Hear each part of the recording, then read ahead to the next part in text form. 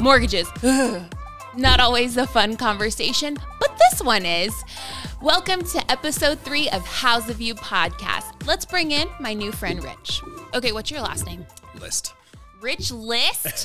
That's your name? That's my name, yes. wow. Uh, Rich List. Rich is actually, or is it Richard? It's Richard. Yeah, in fact, Richard. I'm actually Richard the third, and uh, and we have a son, uh, Richard the fourth. So um, we figured it had already been going that long. We we might as well go another another generation. That so, is Richard the third.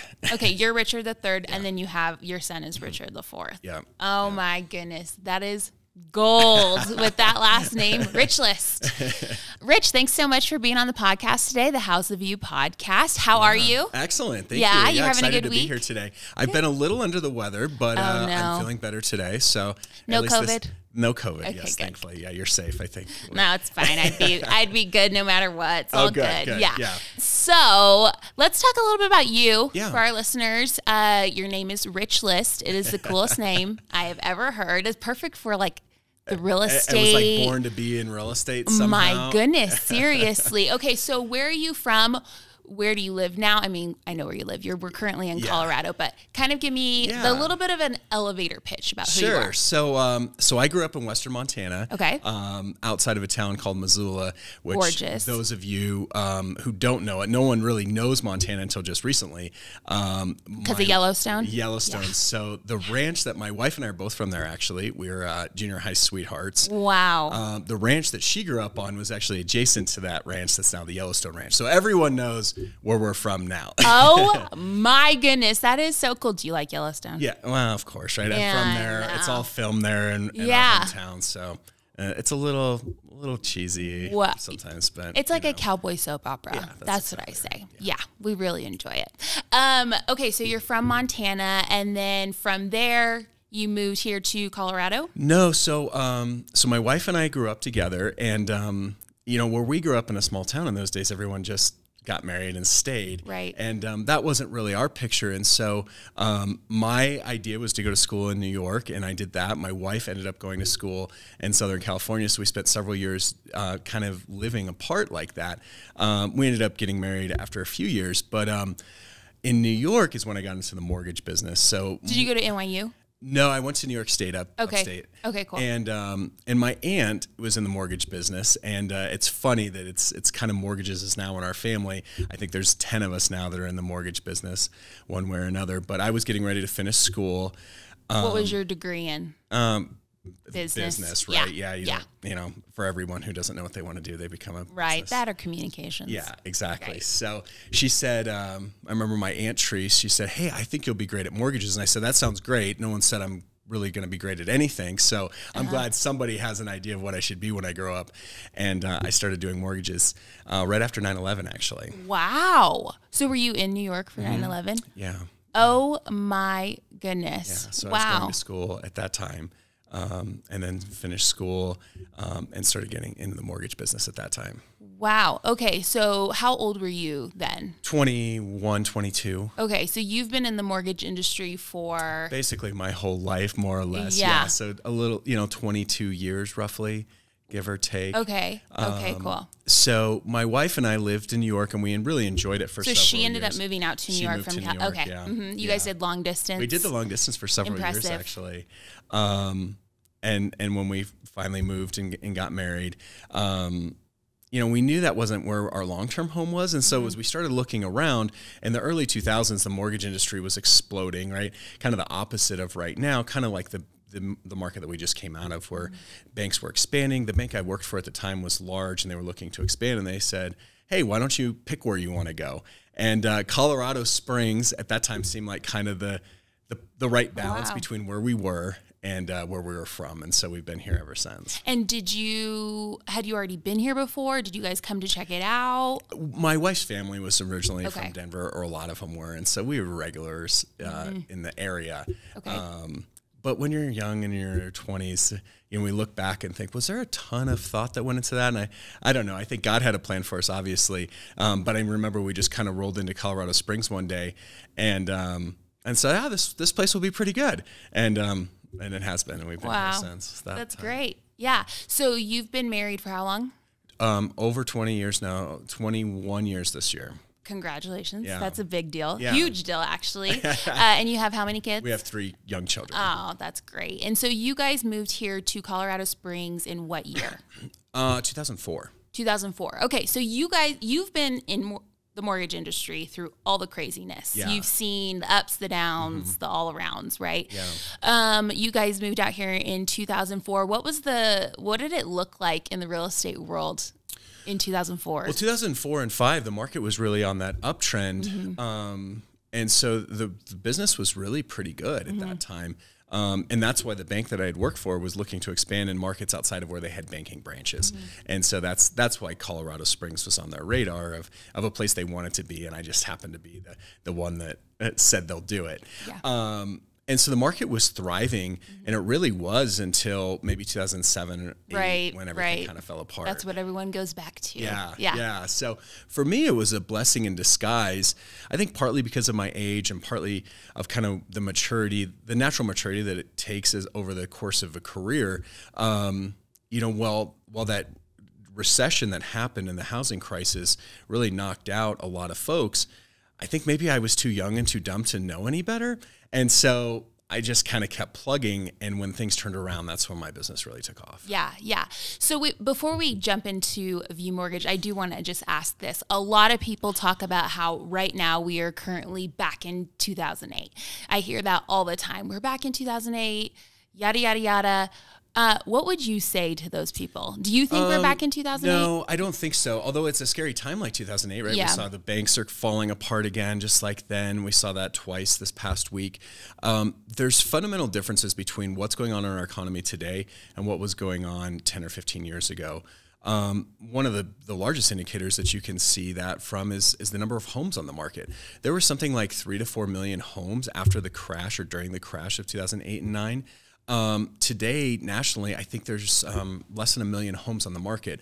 When you compile that with how many more families and how many more people, our population has uh, increased quite a bit since then. Um, we're severely overserved when it comes to housing units. And so, no, yes, I think we're in, in a recession like environment right now, and housing has kind of been kind of the first hit, right? It was kind of housing, crypto that both really took the biggest. Um, you know, blow on the chin with what's happened with mortgage rates. Um, but no, I don't think that they really correlate at all, to be honest with you. Well, that's comforting. yeah. So it's a little bit of a trying time, but it is not 2008. I don't think so. Yeah. No, no, I don't. Th- I don't think so. It is a completely different market, too. Yeah. I- I mean, when you just look at, if you look at what the numbers were um, then versus now, what we're experiencing right now is, is our market was overheated through the COVID and through those artificially low interest rates. Um, Do you think we'll ever see those interest rates again? hopefully not, because I think that means there's probably another world crisis that's probably worse than uh, than you know Yeah. a higher mortgage payment. So no, probably not. I think rates will come down from where they are presently. I think they're probably overinflated at the moment. Um, and so I think there's a high likelihood that over the next couple months, what we've learned over this kind of period of time is that when it, when inflation goes up, interest rates follow. So if I were to give you a hundred dollar bill today as a lender, the idea for me is that I'm going to give it to you and charge you interest, right? You're going to pay me back in the future. You're going to take my hundred dollars and buy a good or service that's valuable to you today. You're going to then promise to say pay 10%, right? You're going to pay me $110 next year. That's what's in it for me. Um, and that's the basics of how lending works. There has to be something in it for both of us. When inflation kicks in, especially at the high levels that we were seeing last year, there's really nothing in it for me. Yes, you're paying me $110, but my $110 isn't worth what I thought it was when I lent you the money. And so when banks and lenders are looking at that, not just here, but across the world, they're saying if my dollar is being eroded more quickly than the amount of interest that I'm charging a consumer, what's in it for me? And so I have to raise that rate to make it make sense. Yeah. So it, you almost need that to level everything out. Exactly. Out. Okay. Right, Exactly. And so that's why you think we will potentially see interest rates come out and things start to level out in the market. Yeah, I. It's I- why eggs are so expensive. Right. Well, there's a supply and demand issue as well. That's true. That's And- true. and I can't gonna- blame everything and- on interest rates inflation. No, and- no, Yeah, yeah, that's yeah. that's a different issue. But I think we're going to be in the same thing with housing. We are in a supply and demand situation with housing. I think the number is 900 units nationally, and that is obviously different from city to city. Um, but that number is significantly lower. And what have we seen over the last year, both at View Homes and across the country? Home builders learned their lesson in the last downturn. And so right away, they've pulled back on permits, they've pulled back on starts, um, and you see it all across the country. So when home buyers start to come back, when interest rates do come down a percent or maybe two percentage points from where they are now, we're going to have an egg situation, as you pointed out, um, yeah. where there's too there's too few homes and too many buyers that want to take them on.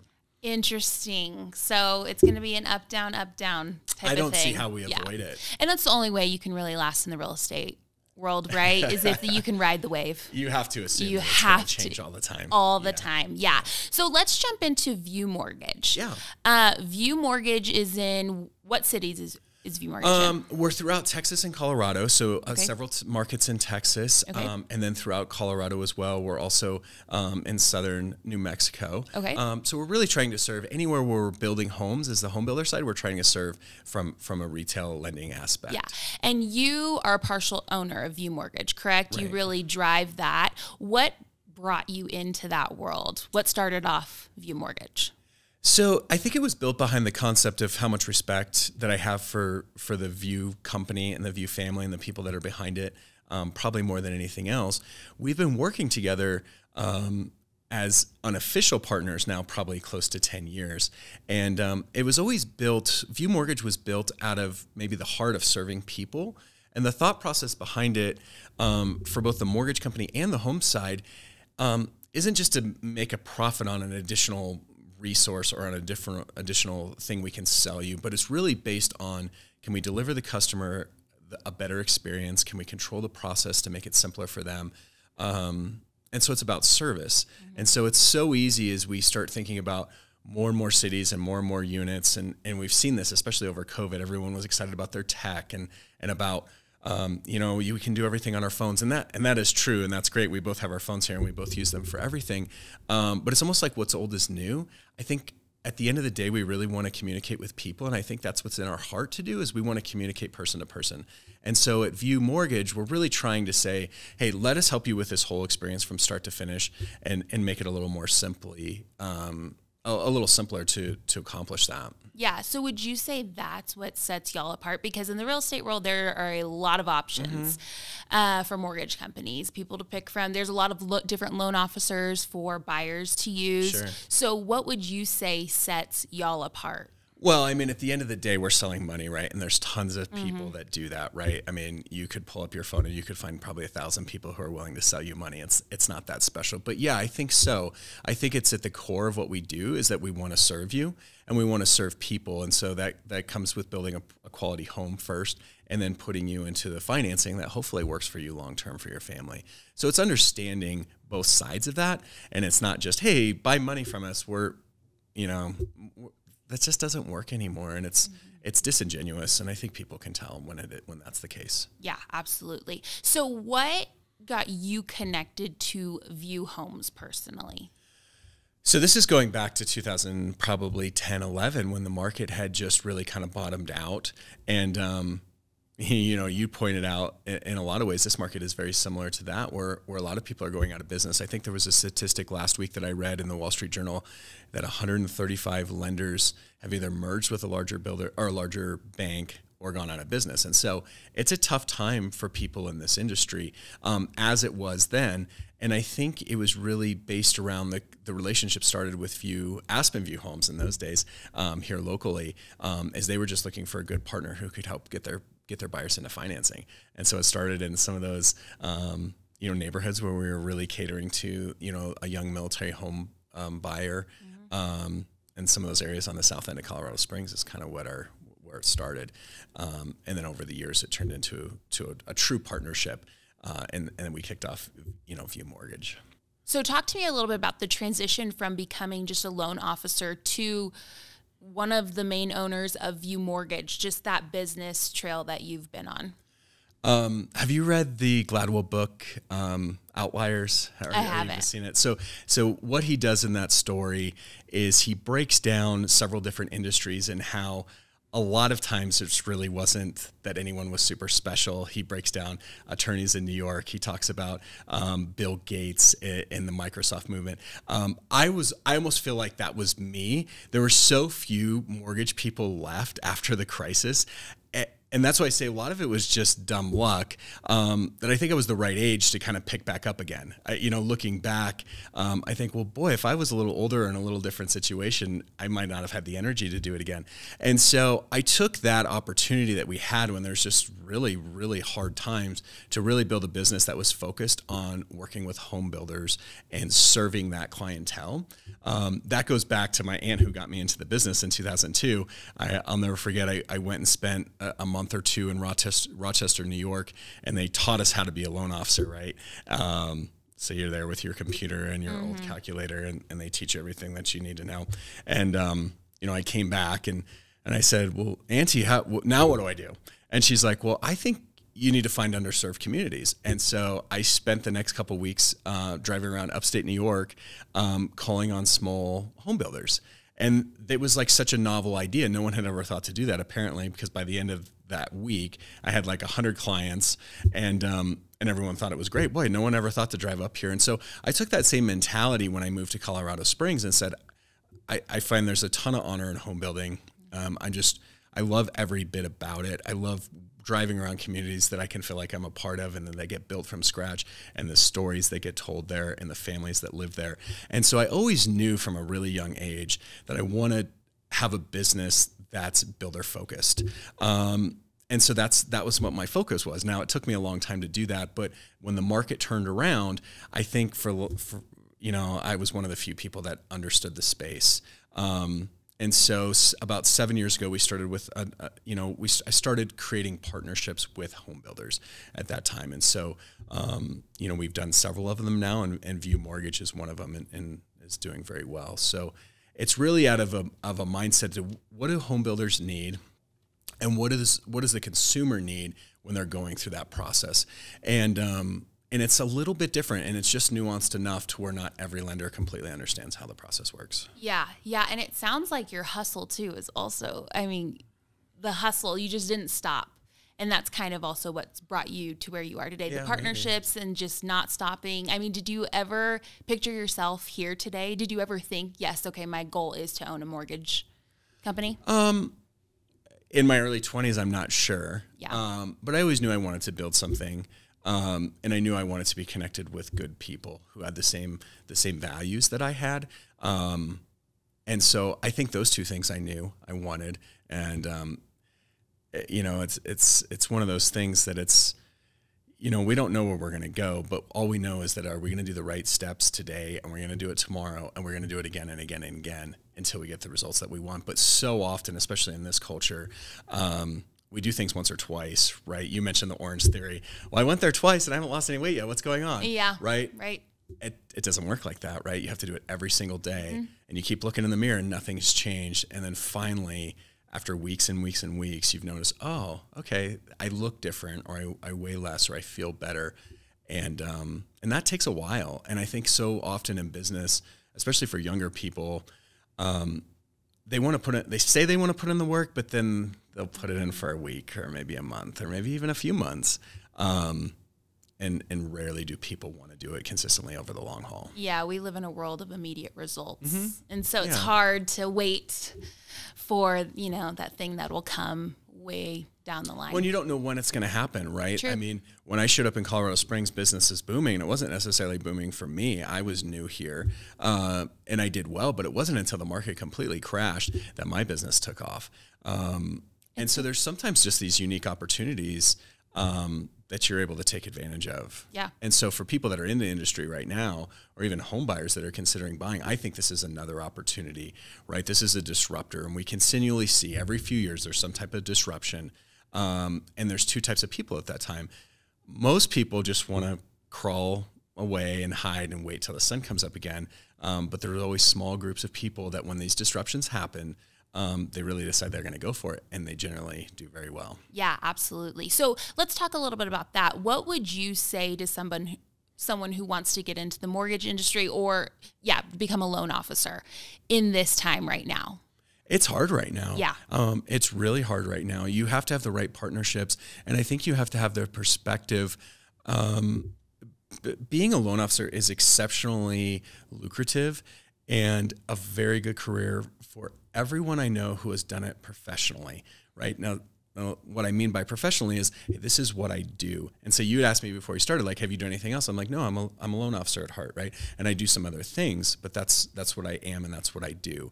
And when things were good, I enjoyed it. And when things were bad, I also had to enjoy it. And so we saw in this last downturn, um, everyone wanted to become a loan officer because they said, oh, you can make a lot of money in it. And that might be true. Um, but you can also have really hard times. And so I think it's it's deciding do you have the right skill set for it, right? And can I gut it out day after day after day to make it a business? And that's what I've always enjoyed. Um, the loan officer aspect, the loan officer aspect of this um, is that you can almost build your own business inside someone else's platform. Mm-hmm. And so it's really rewarding for a lot of people. I hired um, a gentleman who I'd been friends with for years and years a few years ago, and he he he had owned a business that was doing poorly because of COVID. And I said, Hey, why don't you come and, and, and look at this and see if this is something? He, and I knew he had the right skill set for it. He said, Well, I want to own my own business. And he kept telling me that. And I said, Well, just come on board and see, see how you like it. Well, now it's been a couple years. And he said, Well, this is great. I own my own business. I just happen to work with your company. Yeah. And so that's, if you have that mindset, um, I think that's probably the, the number one key. Yeah. What do you think the most important skill set, or what's the most important attribute you need to have to be in this world?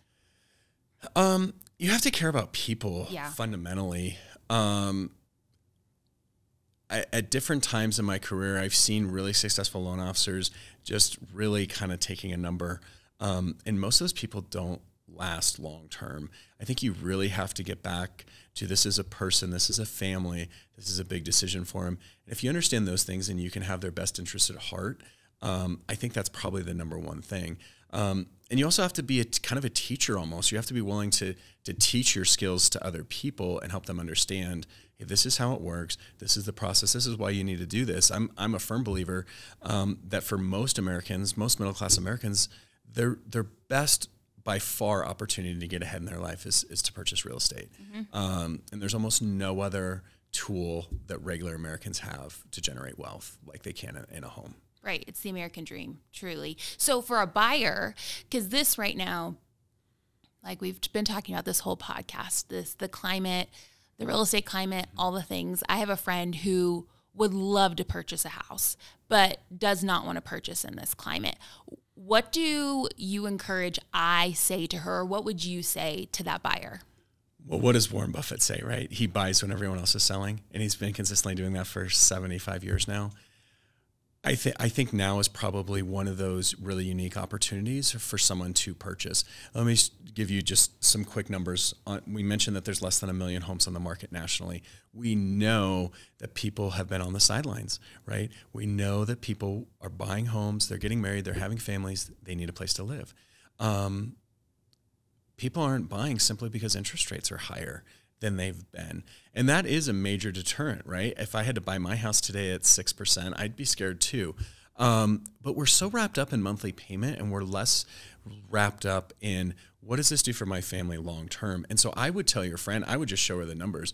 As soon as interest rates drop, maybe a percentage, which I think they probably will this summer, I think there's going to be millions of people that are flooding in to buy the 1 million homes on the market. And so I think there's a high likelihood that we're right back to a multiple offer situation. We're already seeing that in some markets around the country. Um, I think there's a really limited window of time for people who, if they if they are in a the correct position to buy a home, that they probably need to do it now. Yeah. What happens in in a market is we can almost never time the bottom, right? Even though all of us say we're going to, right? Um, I like to trade stocks. I, I trade lots of different things, and we always think like we're going to get it at the exact bottom, and we just we just can't. Generally speaking, you have to get lucky to do it. Right now, I don't know if we're at the bottom or not of where the housing market's going to end up, but we know that sellers are fearful and buyers are also fearful. Well, what happens is as soon as we've hit the bottom and we've come out the other side of that, um, sellers are sudden, all of a sudden much more robust, and I think houses prices are going to go up. And so the buyer, your friend, she's going to get a much better deal today than if she waits three months, in my opinion. Yeah, that makes so much sense because if you wait for interest rates to come down because of the limited, you know, housing in the market, everything's going to become a war again, just like in 2020 and 2021. so. And then next thing you know, you're paying X amount of dollars over asking, and Right. and then it just starts going nuts again. So, so Yeah. basically, what she has to ask herself is if I'm willing to pay a few thousand dollars additional in interest this year, right, over the course of the year, and refinance at a later date, but get the correct house that I want at the right price that I want. And we could pull up, you know, a bunch of data to show, okay, if I buy today, I pay more per month for the next 12 months or even two years um, versus what's going to happen if we wait. I think there's going to be a pretty obvious um, win for those people that were willing to, to go out on a Yeah. ledge right now. Yeah, yeah, that's what I always say too. Just refinance in a couple of years. It's easy to say. It's it's to so easy to say, hard to do, hard to do. Yeah. but it makes sense why right now is this much smarter time to purchase than a couple months down the line. Absolutely. Home builders like ours um, are doing massive incentives right now to help people buy.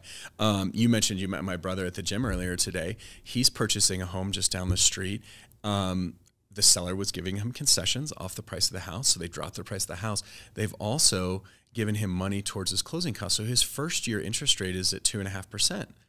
So Wow. all of a sudden it's like, wow, this is a great deal, right? And so he's paying significantly less than if he bought the same house a year ago, and he has the same payment. And so we're using a lot of um, alternative products like that that sellers are paying for to tier people into payments that they can afford. yeah. Um, and so they're not adjustable rates. There's nothing really tricky about them, but there's a way that people can get in and still have it be very affordable. It's such a unique time to get creative with all of that. That's what we're seeing in the real estate Mm-hmm. Yeah. market. It's just people are getting creative, and that's what happens. And the people that are doing well are finding ways to show buyers, hey, this is how you can make this work for your family, um, versus the alternative, which is doing nothing. We know your rent's going up. We know that. Um, and so doing nothing doesn't, you know, people like to think, well, if I buy a house, it costs me. Well, no, the, the doing nothing probably cost you the most, right? And we've proven that over the long so true. And then typically you're just throwing away money because you're renting or Right. yeah, yeah. Right. And, and that goes up. And then you're paying someone else's mortgage. And that's going up 100 or 200 or 300 dollars per Every year. year. And you don't even think about it, right? What's the I mean, you mentioned eggs, you know, obviously things have gone up. Um, people with 30 year fixed mortgages, their housing payment never goes up. That's kind of mind-boggling when you think about it because everything else that you purchase goes up. Yeah. Um, but you can fix the house price you're in. Yeah. So you've experienced a lot of up and downs. Um, I'd love to know just something that maybe you regret or you wish that you did differently or you did do, didn't do when it comes to the business world from loan officer to View Mortgage. What does that look like? Boy, that's hard. Um, my personality and my faith doesn't lead to regret, so I don't really look at anything um, as a gr- regret. But as we were just talking about, it's that inaction. I look back so many times in my life where I didn't do something right. I didn't make action. I didn't. I didn't buy the house I should have bought. I didn't pick up another rental property. I didn't buy the stock when I should have. Right. And most of those decisions I think are fear based. And so when I look back over the last you know twenty or twenty five years that I've been in business.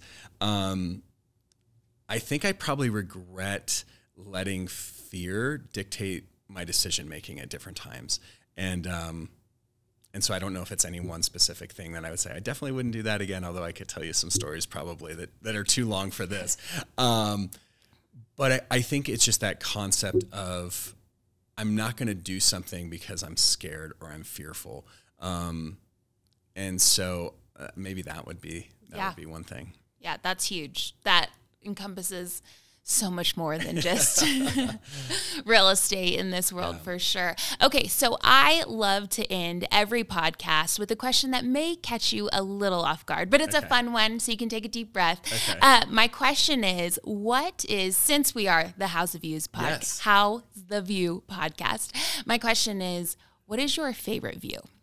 My favorite view.